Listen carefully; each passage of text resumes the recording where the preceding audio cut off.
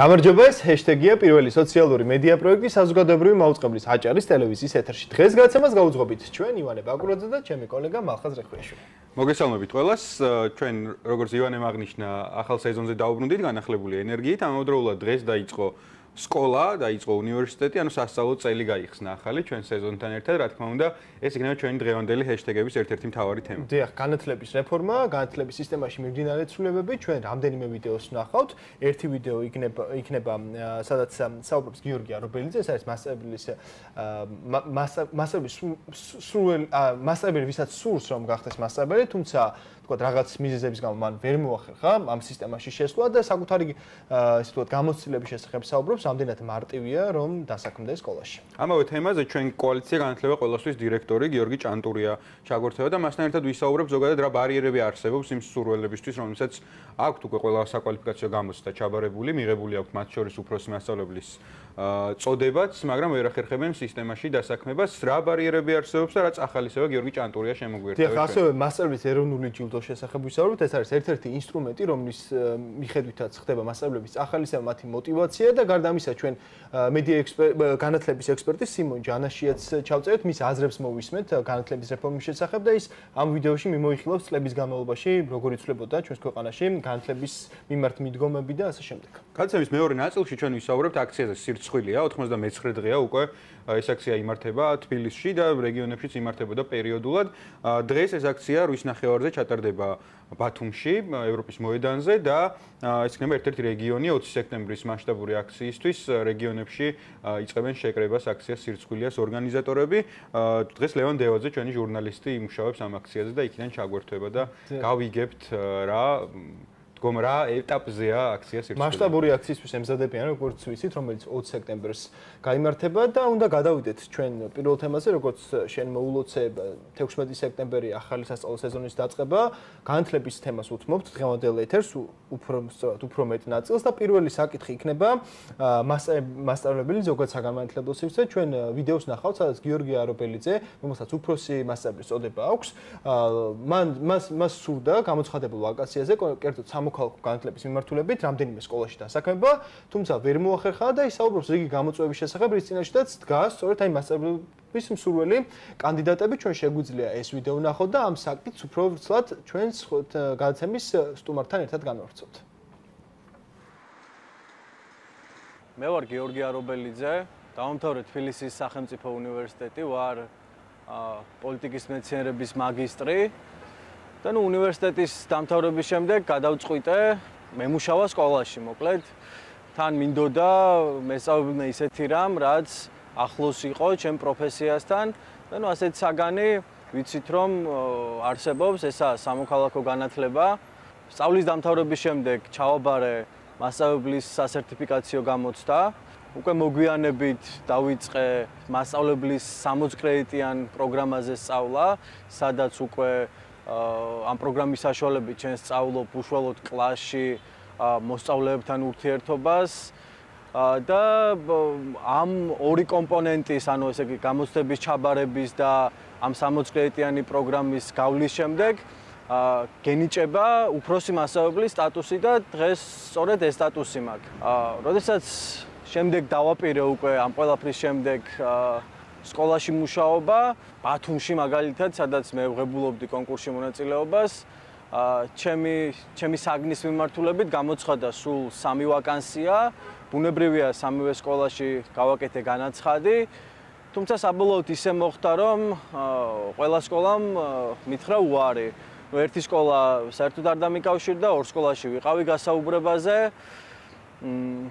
და ნუ ორივე სკოლიდან მომივიდა უარი ჩემი აზრით ჩემი აზრით ძალიან უსაფუძვლო ვარი იყო ეს, იმიტომ რომ ერთ-ერთ სკოლაში თქვა, როდესაც გავასაჩივრე და მოვითხოვე ახსნა უარი საფუძვლის პასუხი სრულიად არადამაკმაყოფილებელი იყო და სიმართლე პირდაპირ ვთქვათ, დამრჩა ის განცდა, რომ ეს კონკურსები არის უბრალოდ ფორმალობა და ბუნებრივია გულდასაწყვეტია ეს ყველაფერი, იმიტომ რომ ნუ ერთის მხრივ ჩვენ ვიცით, ჩვენ ვიცით, რომ რაღაცა სახელმწიფოს აქვს დეკლარირებული პოლიტიკა ის რომ უნდა სკოლაში ახალი მასწავლებლები, უნდა კვალიფიციური კადრები და ასე შემდეგ, ხოლო მეორეს მხრივ ესე იგი შენ პრაქტიკულად არანაირი შანსი არ გაქვს იმის რომ შეაღწიო სკოლაში.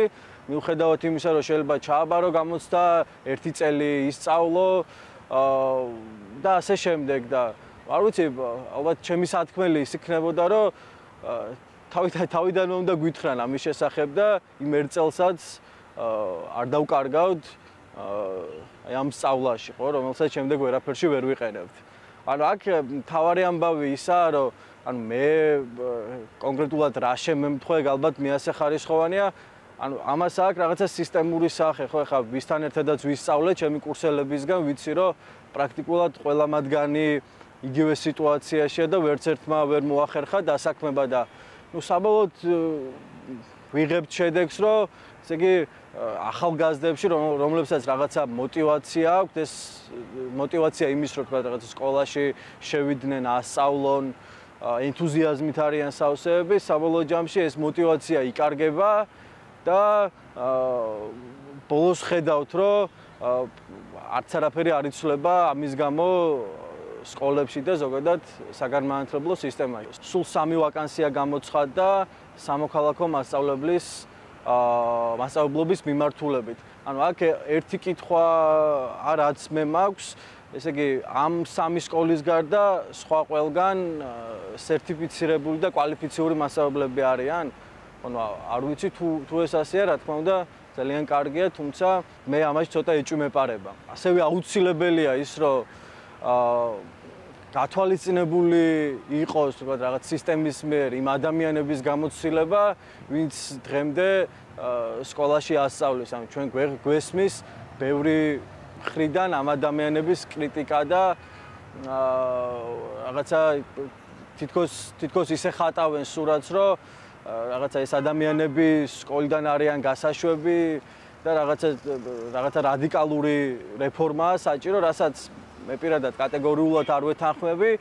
მე მგონია, რომ ჩვენ ახლა ის ეტაპი უნდა გავიაროთ, როდესაც ახალმა კადრებმა და თქვა ძველმა გამოცდილმა მასწავლებლებმა, რომლებსაც მართლა შეიძლება უნიკალური გამოცდილება ქონდეთ, რაღაცნაირად ერთად უნდა მოახერხონ სკოლაში ამ სწავლების პროცესში ჩართვა და მე მგონი მხოლოდ და მხოლოდ ეს მოგცემს საბოლოო შედეგს. გიორგი შედეგზე საუბრობდა, ახლა როგორც ჩვენ ნახეთ და სწორედ მის მაგალითზე გვინდა აღნიშნულ საკითხზე უფრო ცლად ვისაუბროთ, რომ ეს არის ერთი მსურველი, ვისაც სურს ამ სისტემაში შესვლას, თუმცა არაერთი გამოწვევა არსებობს, როგორც ვიცით. და ჩვენ ჩვენი ეთერიდან არაერთხელ ვისაუბრე ამ საკითხზე, თუ როგორ უნდა მოხვდნენ ახალი მასშტაბლებლები განათლების სისტემაში, იმიტომ რომ ყველა თანხმდებით, რომ განათლების სისტემას ახალი სისხლი სჭირდება. კოალიცია განათლება ყოველასთვის დირექტორი გიორგი ჭანტურია იქნება ჩვენი სტუმარი ახლა Skype-ის საშუალებით, ის უკვე შემოგვიერთდა. გამარჯობა გიორგი, გესმის ჩვენ? გამარჯობა. მოგესალმებით, დიახ, მესმის. მე მე როგორც ვიცი, შენ გესმოდა ახლა გიორგის აა ინტერვიუ რომელზეც რომელიც ჩვენს ეთერში გადიოდა პირველი კითხვა პრინციპში რომელიც გვინდა დაგისვათ არის აქედან გამომდინარე რა ძირითადი ბარიერები ხვდება ადამიანს რომელმაც მიიღო უფროსი პედაგოგის წოდება, უფროსი მასწავლებლის წოდება, მზადა ის იმის რომ სისტემაში დასაქმეს, მაგრამ რაღაცა ბარიერები არსებობს. რა ბარიერებია ეს, როგორც ფორმალურად და ლეგალურად არსებული, ასევე არაფორმალური ბარიერები, როგორც შეიძლება იყოს, რა ვიცი, ნეპოტიზმი თუ არის პრობლემა და ასე შემდეგ. დიახ. კი ბატონო. ამ ხანდახან სამწუხაროდ იკარგება ხოლმე თქვენი ხმა.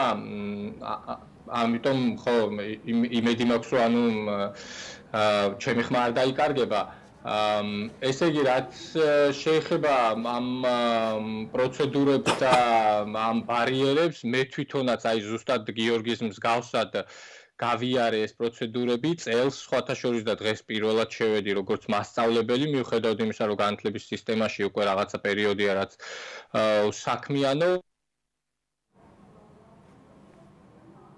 იყო ჩაობარე ის გამოცდები და შემდეგ უკვე იგივე ამ teacher job GZ თუ პედაგოგი GZ როგორც არის ეს ვებგვერდი იქ ჩემი განაცხადი შევავსე და მოკლედ ჩვეულებრივად როგორც წესი და რიგი არის გავიარე ეს პროცედურა და შემდეგ ერთ-ერთ საჯარო სკოლაში თბილისში კონკრეტულად 71 საჯარო სკოლაში დავსაქმდი სიმართლე რომ გითხრათ მე პირადად მესმის ის შემთხვევა, რაზეც გიორგი საუბრობდა და ამ სამწუხარო არის არ გამოურიცხავ რომ ასეთ შემთხვევები არსებობდეს არც იმას გამოურიცხავ რომ თქვათ ეს ნეპოტიზმის ბრალი იყოს.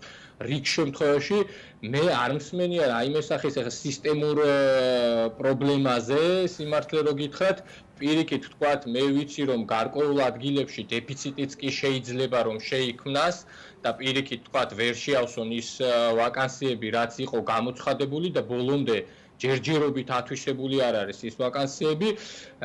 თუმცა გიორგის შემთხვევა ახლა განსხვავებული არის იმ ხრივ, რომ მას სურვილი ჰქონდა სამოქალაქო განათლებაზე ესწავლა და სამოქალაქო განათლებაში შედარებით თქვათ უკეთ არის საქმე ვიდრე მაგალითად საბუნებისმეტყველო საგნებში, ამიტომ შესაძლოა ესეც იყოს პრობლემა. მე ვთქვათ, შემრჩევა იქნებოდა ამ შემთხვევაში, რომ წერილობით შეიძლება მიმართონ განათლების სამინისტროს როგორც აჭარაში ისე მთლიან განათლების სამინისტროს და შესაძლოა თქვა მათგან მიიღონ უფრო კონკრეტული პასუხი. დიახ, გიორგი, ასევე საინტერესო დიახ, აი თქვენ ზუსტად დაიწყეთ ეს საკითხი, ესე ჭარბი მოლოდინი რო არ შეუქმნათ დამწყებ მასწავლებლებს, რადგან საუბრობენ რომ აი 3000-მდე, როგორც ვიცით, პედაგოგმა დატოვა განათლების სისტემა, აი იმ შეთავაზებული ესე თქვა წახალისები შეიძლება ითქვას კომპენსაციით. დიახ, თუმცა გაუჩნდა ახალგაზრდებს იმის სურვილი რომ სკოლაში მოვიდნენ, თუმცა ხდება ცეთ რეალობა რომ ვერ ახერხებენ. აი მაგალითად დიახ, აი მე მსმენია მაგალითად ესეთი თუნდაც აი მათემატიკაზე, ოდესაც იყო მისაღები ერთი ადგილი და კონკურენცია იყო საკმაოდ მაღალი 50 ადამიანს სურდა. აი ამ ვითარებით რა უნდა გააკეთოს განათლების სამინისტრომ აი ესეთი მოლოდინები რო არ შექმნას, რადგან ადამიანებს რომელთაც სურთ ამ სისტემაში ჩაბმა არ ქონდეთ ძალიან მაღალი მოტივაცია რომ მივიდნენ და რეალურად ესეთი ვითარება არ უნდა მიიღონ აი გიორგის მაგალითზე რომ ვერ მოხდნენ და ხელი არ ჩაიქნიონ, თუმცა აი ამის გამოსავალი რა არის? აი თუნდაც რაღაც სტატისტიკის წარმოება ან თუნდაც რეალური ციფრების დანახება, სად რომელ რეგიონში არის საჭიროება რეალურად პედაგოგების. ხო, კი ბატონო, სწორი აქცენტები არის, რაც აქცენტები არის, რაც თქვენ დასვით რეალურად და თვითონ ეს პროცესი არის ეხლა შეიძლება მე ცოტა განათლების სამინისტროს მხარე დავიჭირო, მაგრამ თვითონ პროცესი მათთვისაც ახალი არის, მთლად ბოლომდე მკაცრები ნუ იქნებით მას მისამართითაც, იმიტომ რომ რეალურად ეს ცვლილებები იყო უპრეცედენტო განათლების სამინისტროში და ამას მივესალმებით. მიუხედავად ამისა, ჩვენ ყოველთვის ვამბობთ, რომ ეს არ არის საკმარის იგივე პოპულარიზაციის თვალსაზრისით და როდესაც კრიტიკოსები გვეუბნებოდნენ, რომ თქვა მასშტაბლობით დაინტერესებული ადამიანები ძალიან ცოტანი არიან, რეალურად აი თუნდაც გიორგის შემთხვევაში ჩვენ დავინახეთ, რომ ეს ასე არ არის.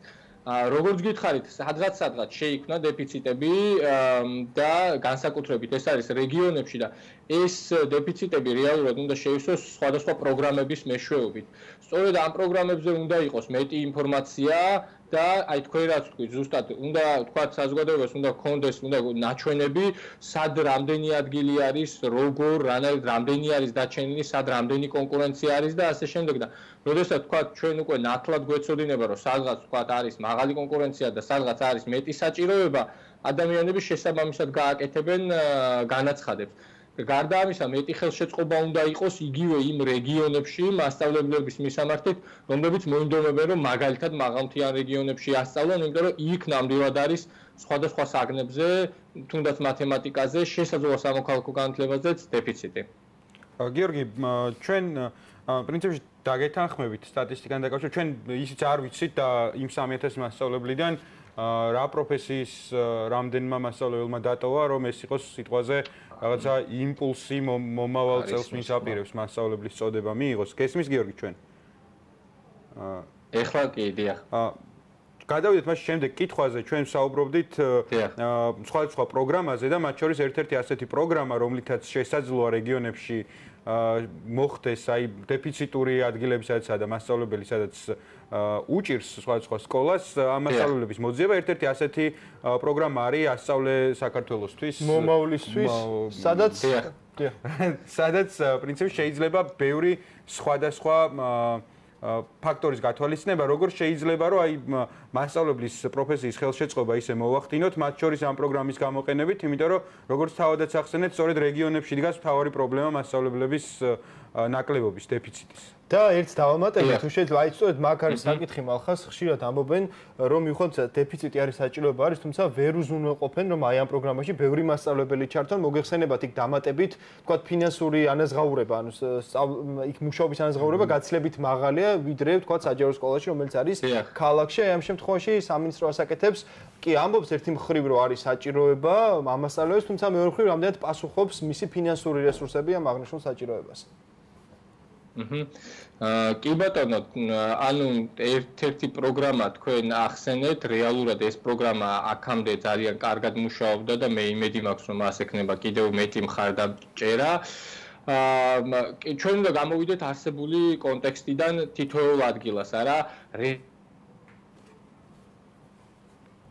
გაწყდა გიორგის თუმში ან ქალაქებში არის თქვათ სურველი ძალიან ბევრი ეს იმას აბსოლუტურად არ ნიშნავს რომ თქვათ იგივე რეგიონებში ზუსტად ის რაოდენობა იქნება ან იმავე საგნებზე იქნება ის რაოდენობა. რეალურად ჩვენ ძალიან ესეთი კვალიფიციური კადრი მაგალითად საბუნებისმეტყველო მიმართულებით ნამდვილად არ გვყავს.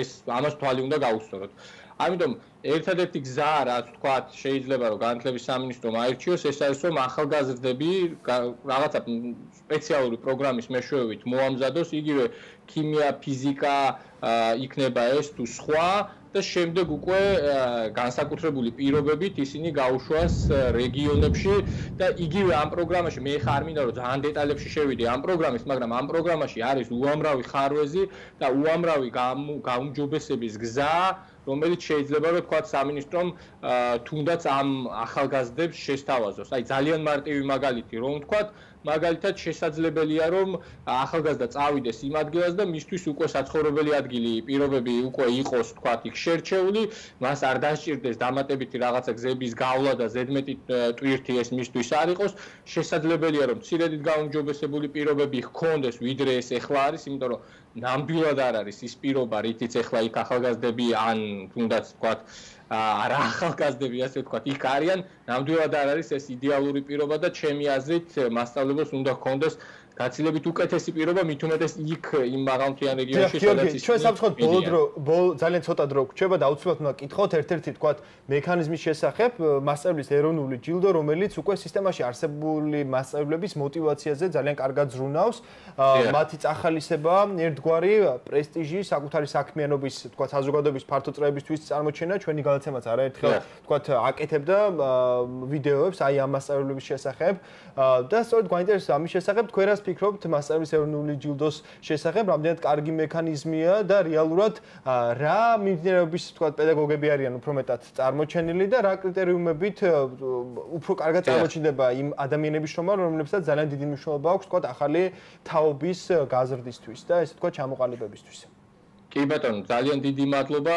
რეალურად მასწავლებლის ეროვნული ჯილდო მესამე წელია, რაც ხორციელდება განათლების კოალიციის მიერ სწავლების სახლისა და სამინისტროს მიერ და რეალურად ხედავთ რომ ჩვენ ამ კონკურსის შედეგები აქვს და თავარი რაც ჩვენ გვინდა ვთქვათ თავარი არის ამ კონკურსის რაც არის ეს არის დამოკიდებულებები რა ამ მასშტაბლებლებისადმი ეს არის ძალიან მნიშვნელოვანი რომ აღვნიშნოთ რეალურად მასშტაბლებლებმა დაინახეს რომ ეს კონკურსი ტარდება მათთვის, მასშტაბლებს პროფესიის პოპულარიზაციისათვის. ჩვენ ვცდილობთ, რომ მაქსიმალურად მათზე იყოს მორგებული, ვაღიაროთ ისინი ბოლომდე. აქ არ არის არც აი თქვენ დასაწყისში თქვათ ნეპოტიზმი ახსენეთ, არანაირი ნეპოტიზმი. ის ჟიური, ვინც მათ ავლენთ, არის მთლიანად საზოგადოებრივ საწყისებზე მუშაობს და მათ მიერ არის აღიარებული და თავარი მოკლედ გამორჩეული რაც ამ კონკურსს აქვს, ეს არის დამოკიდებულებები მასშტაბლებლებისადმი. ამან იმუშავა სამი წლის განმავლობაში ჩვენ აღმოვაჩინეთ 30 გამორჩეული მასწავლებელი, რომლებიც სისტემაში ჩვენი აზრით უამრავ ცვლილებას შეიტანს და ორი წელია უკვე ეს პროცესი დაწყებული არის. კრიტერიუმებს რაც შეეხება ძალიან მარტივად ვიტყვი, რომ ესენი არ უნდა იყვნენ, თქვა, მხოლოდ კლასში მასწავლებლები, უნებრივია სწავლის შედეგებზე უნდა ჰქონდეთ სერიოზული გავლენა და ასევე ისინი უნდა იყვნენ აქტიური მოქალაქეები პირველ რიგში. წელს ძალიან მოკლედ ვიტყვი რომ წელს ჩვენ კიდე უფრო საზოგადოებრივი რომ გავხადოთ ეს კონკურსი შემ ამ კამპანიის ფარგლებში დავიწყეთ ახალი კამპანია გახდი ჯილდოს მხარდამჭერი რაც იმას ნიშნავს რომ საზოგადოებას აქვს საშუალება თავისი ფინანსური წვლილი შეიტანოს და აი სწორედ ამაზე მინდა გვეკითხა გიორგი, როცა მასწავლებლის ეროვნულ ჯილდოზე კითხეთ როგორ უნდა გახდეს ადამიანი ჯილდოს ხარდაჭერი, ცოტა დეტალური ინსტრუქცია რომ მოგცე, იმიტომ რომ ჩვენს ვიზიარებთ აი პათოსს, რომელიც ამ ჯილდოს აქვს და ჩვენს ძალიან მოგწონს იდეა მასწავლებლების ახალისების. ძალიან დიდი მადლობა. აა ესე იგი ჩვენს ვებგვერდზე 3w.t-prize.g იქ უნდა შევიდეს მსურველი და იქ არის ასეთი ღილაკი გახდი ჯილდოს ხარდამჭერი და შემდეგ უბრალოდ უნდა გაახვეს იმ ინსტრუქციას, უნდა მიუთითოს თავისი სახელი გვარი და შემდეგ უკვე გადაიყვანს იმ მისამართზე, სადაც ბარათის ასე ვთქვათ მონაცემები უნდა შეიყვანოს და ამით ჩვენ გვინდა საზოგადოების სოლიდარობა ვაჩვენოთ მასშტაბების პროფესიისადმი, იმიტომ რომ შესაძაც ადამიანები არ არსებობს ჯგუფი, სადაც წრე, სადაც ამ პროფესიაზე არ საუბრობენ და იმ გამოწვევებზე, რაც ამ პროფესიას ახლავს და ეს რაღაცა ერთგვარად თან საზოგადოება აღიარებს ამას. მეორე მხრივ კი ნაკლებად არის ამ პროფესიის მოგვარებაში იმ გამოწვევების მოგვარებაში ჩართული და ჩვენ გვინდა რომ რაღაცნაირად ეს ინსტრუმენტი შემოვიტანოთ და ვაჩვენოთ თქვათ იგივე მასშტაბლებს რომ საზოგადოება მათდამი არის სოლიდარული და ეს არის სიმბოლური რომ საზოგადოებისაგან შეგროვილი თანხით საპრიზო ფონდით ვაჯილდოებთ გამარჯვებულს. გიორგი, დიდი მადლობა. კოალიცია განათლება ყოველთვის დირექტორი გიორგი ჭანტურია იყო ჩვენთან ერთად. მადლობა რომ იყავი გილოცავ მასშტაბლებლობას და პირველ სასწავლო წელს წარმატებას გითხოვებ ამ ძალიან საპასუხისმგებლო საქმეში. აა მადლობა გიორგი. ჩვენ ჩვენ ვაგზელებთ საუბარს დავიწყეთ განათლების რეფორმაზე, რამდენიმე ათწლეულია უკვე განათლების სისტემაში, არაერთი ცვლილება ვხედავ, ვხედავთ. ბევრი ცვლილებების ავტორიც გვინახავს, ministrები ბოლო პერიოდს თუ გავიხსენებთ მალხას, მოკლედ ministris გაცნობას მასწავლებლები ხშირ შემთხვევაში ვერც კი ასწრებენ სახელდაგვარს ისე სწრაფად იცვლება. ახერხებდა და გვამახსოვრებდა თავს. კი, რაღაც რაღაც რაღაცებით. კი, შეიძლება ესეც ითქვას და ექსპერტი, განათლების ექსპერტი სიმონ ჯანაშია საუბრობს განათლების სისტემაში მიმდინარე ცვლილებების შესახებ, იმ სისუსტეების შესახებ, რომელიც დღეს ჩვენ არსებობს საერთაშორისო გამოცდილების შესახებ, რაც უნდა დაინერგოს ჩვენთან იმისთვის, რომ მართლაც მომავალში ძალიან განათლებული და ვთქვათ შედეგზე ორიენტირებული სახელმწიფოებრივად მოაზროვნე ახალგაზრდები მივიღოთ. ნახოთ სიმონ ჯანაშიას ვიდეო და დაუბრუნდებით ეთერში. სიმონ ჯანაშიას აზრები ჰეშტეგის ეთერში. თავი გამოწვევა ის კი არ არის განათლების სისტემაში რომ მართლაც ხშირად რაღაცები იცვლება, რიტორიკა იცვლება, თორე სისტემა არ იცვლება, იმიტომ რომ სისტემა ვერ ასწრებს იმ ახალ-ახალი მიზნების დანერგვას და გაშინაგნებას მასშტაბლები ვერ ასწრებენ, დირექტორები ვერ ასწრებენ, იმიტომ რომ ყოველი ახალი მინისტრი ახალი მიზნით გამოდის და ახალ რაღაც ინსტრუმენტს ნერგავს. მასშტაბლები ცდილობენ უკვე მრავალი წელია, მრავალი ათწლეულია რომ იგნორირება გაუკეთონ სიახლეს, იმიტომ რომ ხშირად მათ იციან, რომ ეს სიახლეები გაქრება რამდენიმე წელიწადში. მე მინახავს მაგალითად მინისტრებს როგორ ელაპარაკებიან მასშტაბლები, მაგალითად ერთ-ერთ მინისტრს მიმართავდნენ, რომ შვილო ჩვენ ბევრი მინისტრი გვინახავს, მაგრამ ესე ვთქვათ, ძალიან ასე დაგვაძალებთ რაღაც კეთებს, გაგვი ეს რაც თქვენ გონებით უკვე გაგვიგია ბევრჯერ და არ დანერგილა. როდესაც მიხვდებიან ხოლმე რომ რაღაც ინერგება და იწყება ძალიან სწრაფად რაღაცა პანიკურად მოუმზადებლად აი ამ სიახლეების დანერგვა, რაც იწვევს ხოლმე ახალ პრობლემას. სერიოზული პრობლემა არის ის, რომ კონსენსუსი არ არის, რა უნდა იყოს მართლა ჩვენი სკოლების მიღწევა. ზოგი თვლის რომ სკოლა არის რაღაც მოქალაქეების აღზრდის ადგილი, ზოგი მშობელი განსაკუთრებით თვლის რომ სკოლა უნდა მოამზადოს კარიერისთვის და მისი შვილი. ნაწილი მშობლების ელის სკოლისგან ისეთი ტიპის სოციალიზაციას, რომელიც დაეხმარება კავშირების აა ასე ვთქვათ, გაჩენაში და მე ეს კავშირები უნდა დაეხმაროს მომავალში.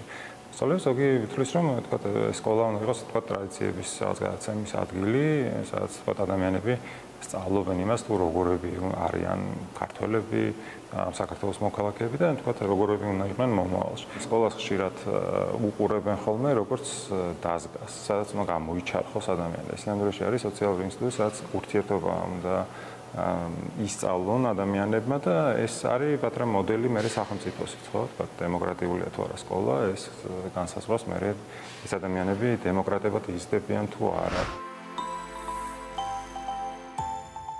პირველად მრავალი წლის განმავლობაში გაჩნდა სისტემაში მოთხოვნა მასწავლებლებზე.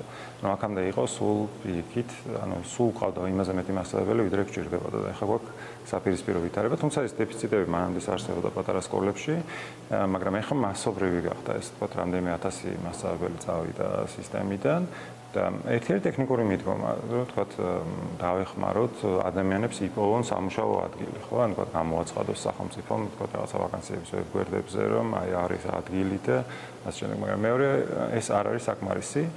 იმიტომ რომ ადამიანების мотивация, ერთ-ერთი мотивация არ არის დასაქმება იმისთვის, რომ სკოლაში წავიდეს. ანუ ადამიანი, რომელიც ვერ მოხვდა, თქვა, პოლიციაში სამუშაოთ, და ვერ მოხვდა ბანკში სამუშაოთ, და ვერ მოხვდა, თქვა, არ ვიცი, სუპერმარკეტში სამუშაოთ, ის შეიძლება მიმართავდეს ახლა სკოლას, იმიტომ რომ ხედავს, რომ ახალი რაღაც სივრცე გაჩნდა, მაგრამ არის თუ არა ის საუკეთესო ადამიანი იმისთვის, რომ განათლება, ასე ვთქვათ, განათლების სისტემაში ჩაერთოს, არ ვარ დარწმუნებული.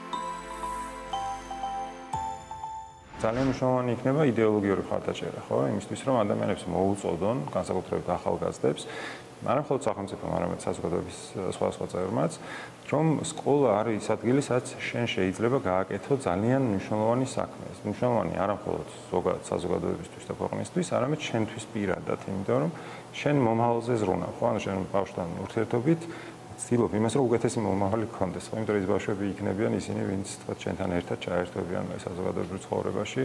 მაგრამ ძალიან მნიშვნელოვანია, რომ ახალგაზრდა, რომელიც ან აბარებს უნივერსიტეტში, ან ამთავრებს უმაღლეს და ფიქრობს იმაზე, რა შეიძლება გააკეთოს მნიშვნელოვანი, იმას გქონდეს ეს თავში, რომ აი არის ძალიან მნიშვნელოვანი ადგილი საზოგადოებაში, ეს არის სკოლა, სადაც მართლაც შეიძლება ისეთი საქმე გააკეთო, რასაც ვერსაც სხვაგან ვერ გააკეთებ, ისეთი სიხარულით, ისეთი თქვათ უგუგებით, რასაც იღებ სკოლაში.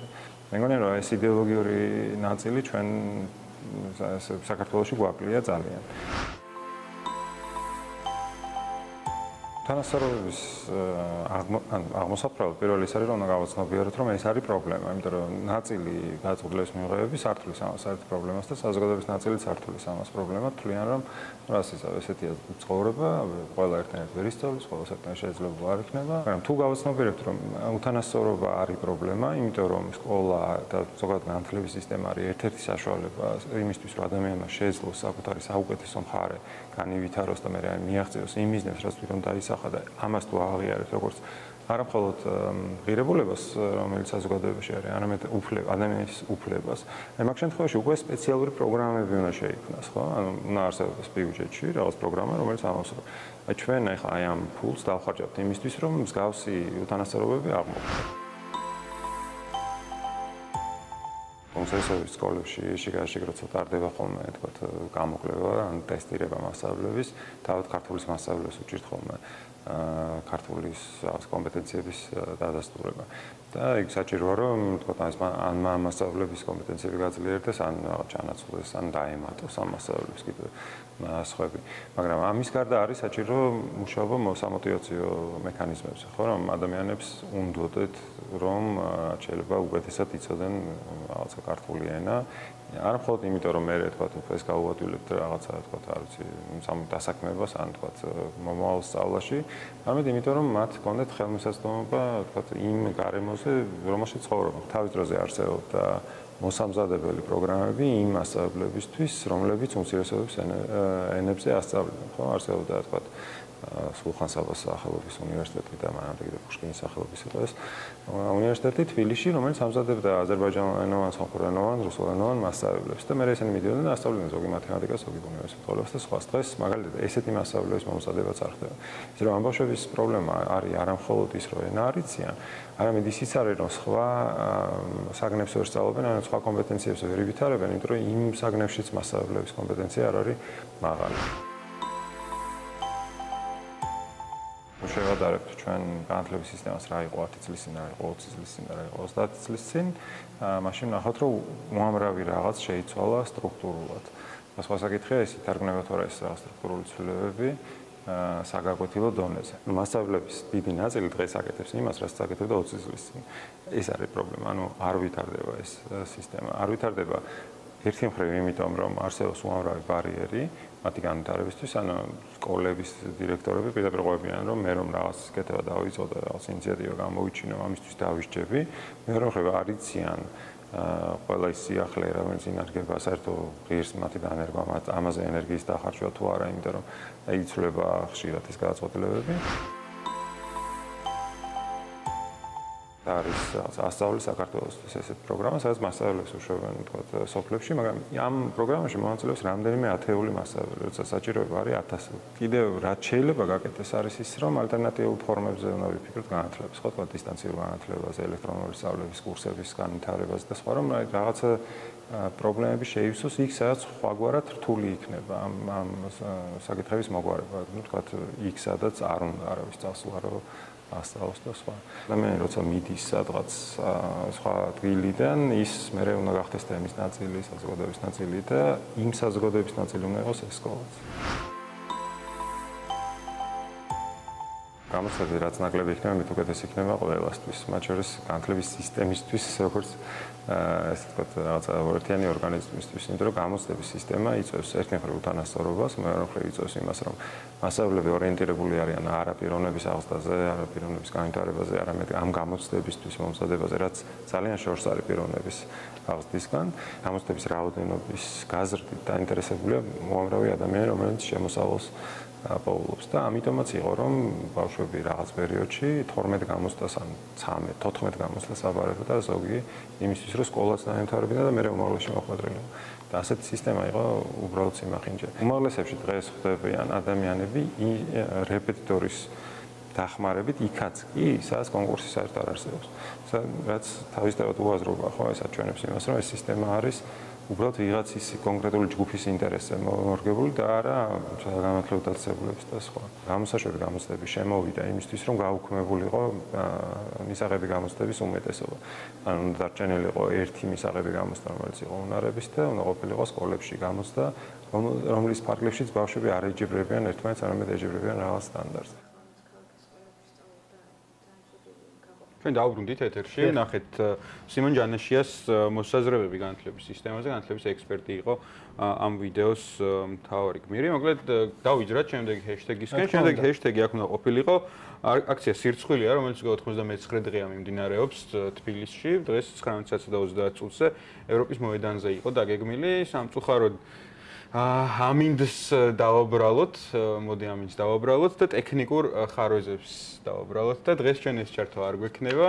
აა იმედია სხვა დროს უფრო მეტი ადამიანი შეიკრიბება ევროპის მოედანზე. რა თქმა უნდა. და უნდა გადავიდეთ ჩვენ შემდეგ ჰეშტეგზე. ქაუტური მშენებლობის შესახებ უნდა ვისაუბროთ მალხას. ბუნებრივი თუ ბათუმში ნუ შესაძლებელია თქვენ ვინც ახლა გვიყურებთ ამ ამის გაგზელებას უკვე ალბათ მოგესწრებათ რომ ბათუმზე უნდა ვილაპარაკოთ, თუმცა ბათუმის ნაცვლად, ბათუმში ეს რო პრობლემა ამაზე თანხმდებით, თბილისშიც პრობლემაა, უნდა გადავინაცვლოთ გომის მთაზე.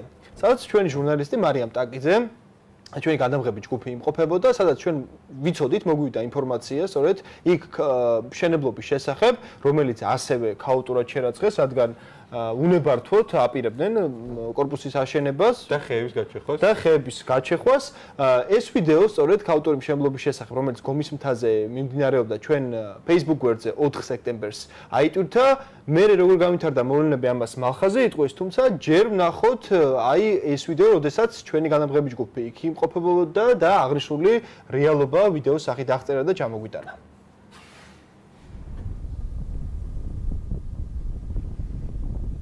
თა თა გაპრეზიანია მოგეხსენებათ და აქ პრობლემები ყოველ ყოველთვის არის და იქნება შემდგომშიც ალბათ რომელსაც ხელისუფლებისაგან ცოტა დახმარება თუ იქნება გამოსწორების გზები არსებობს.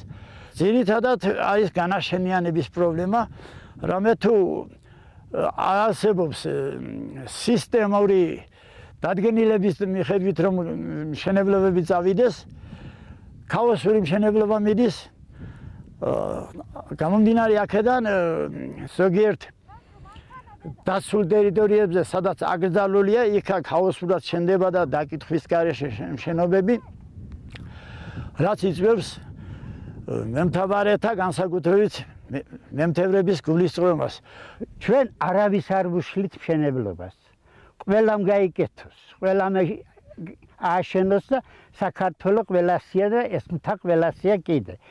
მაგრამ ჩვენი ერთი პირობაა და ჩვენი თხოვნაა რომ რაცომ დაცული გვაქვს და ვეუბნებით ხალხს რომ აქ ნუ გაანაშენიანებთ ამაზე მოგვაქციოს თავრობამ ყურადღება. ეს თა იმ თავითვე მრავალი საუკუნეების წინ დაფუძნდა როგორც მემთაბარეთა მეცხოველეთა თა არის ეს. კარგია რომ შემოგვემატა თანდათან დამსვენებლების ჯგუფი და ვისურვებდით რომ კლავ კლავ გამრავლდეს, მაგრამ იქ სადაც მეცხოველებისათვის გამოყოფილი ადგილი მშენებლობები აკრძალულია. აქ არიან მოხუცები, მოხუცი მემთევრები, ამათ ყავან ხბოები, ხბოებს საქონლის ერთად არ არ ვერეკებით აქ. ხბოებს ტოვებთ ადგილზე. ამ ადგილზე რომ ტოვებთ ეს მოდის აქ. ისა რაც ხბოს საძოვარი, აგერ რაც ჩანს ხელ მარჯვნივ, ეს არის ხბოების საძოვარი და მე საქონლელი უმბრუნდება კიდევ ისინი წაკ ბალახობ. და ამაზე გვეშლება ხელ. უხუცეს და დადგენილების დონეზე გადაწყვეტილება მიღებულია რომ აქ შენებლობა უნდა შეჩერდეს. მაგრამ აი ეს კატეგორია ხალხი თვითნებობს, რომლებიც აი დადგენილებას და თხოვნას ყურადღებას აქცევენ თვითნებურად აშენებენ და რამოდენიმეჯერ მოხდა შეხლა შემოხლა. ვისურვებდი რომ ეს ის ეს საკითხი ჩვენ მოქალაქეების დონეზე გადასაწყვეტი არ დარჩეს. მარტო აგერ ახლე სადაც ჩვენი ძველი დანაშენიანება აქვევით, გევიაროთ ახლა და ვნახოთ როგორი ანტისანიტარია. ასე იქნება მომავალში აქეთაც. გაითვალისწინონ ჩვენი თხოვნა და არის თენ თაყველასე ყოფა აი წავიდენ ნუ წავლიან მარჯვნივ წავიდენ მარცხნივ და გააკეთონ გათვი ჩვენ ხო ჩვენ არ ვუშლით ვინმე. საქონლის პირუტყვის საზღვარები ცირდება. გადის შორს სადაც ნადირი ბევრია არ ყავს ჯერჯერობით მენახირეთა ჯგუფი. მარტო პირუტყვი არაა ლაბარაკი აქ მიდის ანტისანიტარია დაბინძურება არის ამიტომ გარემოს დაცვას სანებით სანებით სადგურს თავრობის ხელმძღვანელობას ხელისუფლებას თხოვთ მოგვაქციონ ყურადღება და როგორც თვითონ გადაწყვეტენ საჭიროების შემთხვევაში მოიქცევით ისე. გააკეთოთ მხოლოდ აი ამის აქეთ უღარ დამოვლიან აი აქიდან ქვემოდან ამოდის გზა ადის ზემოთ. მე ზების ჯვარი რომ სვია იქ იდგმება ღმერთის სახლი, ეკლესია, ამასაც ძირი ყურადღება უნდა მიაქციონ, რომ თითქმის ზედ ჯვარზე მისლამდის არის ბინები დღეს ჩაყრილი და უნდებან განაშენიანება. ხობთ თავრობას, აჭარის თავრობას, ჩვენ ხელისუფლებას რაიონულს ყველას ხობთ რომ დეგვეხმარო. ამ ამ პრობლემების გადაჭრას. ვითხოვთ რომ კანონის დონეზე მოგვარდეს და მივიქნება ქაოსი და მომავალი წელსადი იმედია გაგეთება. ჩვენ დავბრუნდით ეთერში. სხვა შორის პრობლემა რომელზეც საუბარია ამ ვიდეოში 4 სექტემბერს ავტორიტეტ Facebook-ზე და განსხვავებული ეს პრობლემა იმით აღმოჩნდა, რომ შეიძლება გვიკვირს ხოლმე, მაგრამ ამ პრობლემას მოხვა დროული და შესაბამისი რეაგირება ოზურგეთის მუნიციპალიტეტისაგან, როგორც მუნიციპალიტეტის საზოგადოებასთან ურთიერთობის სამსახურმა განაცხადა და ეს ატვირთეს საკუთარ Facebook გვერდზეც 600-მდე სახლი აღწერეს, გარდა ამისა ამ უკანონო სამუშაოების დემონტაჟი მოახდინეს და ადამიანები, რომლებიც ამ უკანონო სამუშაოებს აწარმოებდნენ, დაჯარიმდებიან საქართველოს სივრცითი მოწყობის, სამშენებლო სამუშაოების და არქიტექტურის კოდექსის 131 მუხლის პირველი პუნქტის აქვე პუნქტის შესაბამისად 25000 ლარამდე თანხის ოდენობა. მოგეთ ძალიან კარგი, ოდესაც ყველა ესეთ ესე ვთქვათ, პრობლემას გამოხმაურება ექნება შესაბამისი ხელისუფლების სკოლისგან. ეს იყო ერთ-ერთი ვიდეო, რომელიც თქვენ ახლა ტელევიზიის საშუალებით ნახეთ. Facebook-ზე არაერთი ვიდეო განთავსდა და ჩვენ პერიოდულად კვირის განმავლობაში შემოგთავაზებთ. მათ მარიამ ტაგიძე მუშაობდა და გოჩა კვაჭაძე ამ ვიდეოთან ერთად და ჩვენ დღეს უნდა დაგემშვიდობოთ. შევხვდებით ხვალ ახალი ჰეშტეგებით, ახალი თემებით და ახალი ენერგიით, რომელიც ამ სეზონის დასაწყისში უხვად გვაქვს დაგროვებული. რა თქმა უნდა, კარგად ბრძანდებოდეთ, არ დაგავიწყეთ აქტიურობა ჩვენს Facebook გვერდზე. დროებით.